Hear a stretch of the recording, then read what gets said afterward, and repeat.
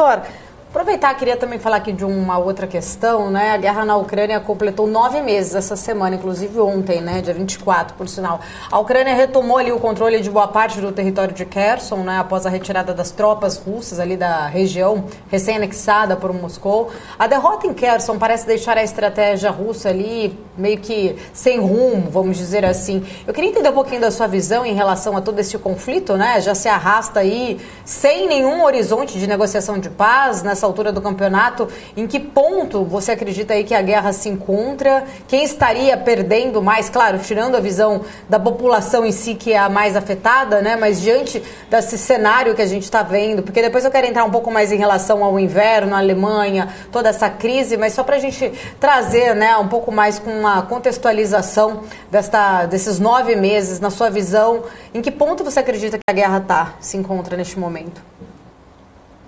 Olha, Paula, eu não sei se você chegou a ver uma, uma pequena anedota que o Putin fez com relação à guerra, dizendo que ele fez a seguinte história, né? Um pai conversando com seu filho alemão, uh, dizendo que os russos estavam sofrendo sanções porque a, a Rússia não estava se comportando bem, e aí de repente o filho fala e vê a questão energética na, na Alemanha e pergunta se eles eram russos, né, porque também estavam sofrendo as consequências da guerra na Ucrânia.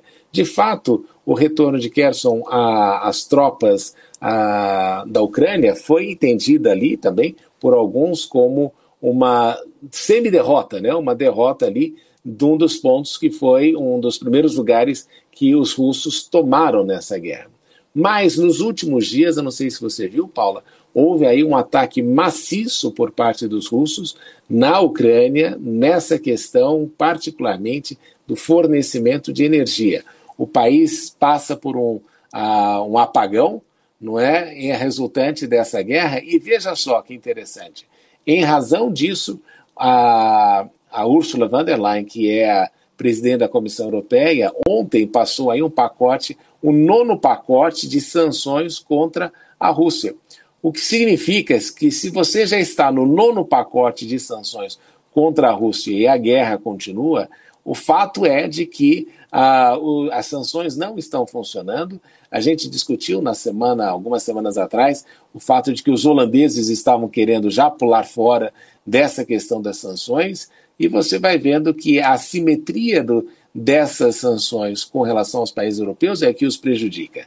E o resultado é de que muita gente começa a olhar para isso e se perguntar se de fato vale a pena continuar com as medidas que têm sido tomadas, porque elas de fato não estão derrotando a Rússia e muito da narrativa que a gente fez aí no Ocidente, né? Se nós lembrarmos a, a impressão de que, que nós tínhamos também é de que a Ucrânia venceria a guerra rapidamente por causa do apoio da OTAN, a gente nota que até mesmo este apoio da OTAN passa aí por umas situações complexas, porque nem todos os países também entendem que a, a Ucrânia seria ali uma parte fundamental da solução do regime político e do regime de estabilidade uh, militar da Europa. Então, são questões complexas que a gente vai anotando aí e vai se desenvolvendo e se desenrolando sem a perspectiva aí de um cessar-fogo ou de um acordo de paz, que é o que realmente preocupa nesse momento, porque o, a situação econômica do continente europeu,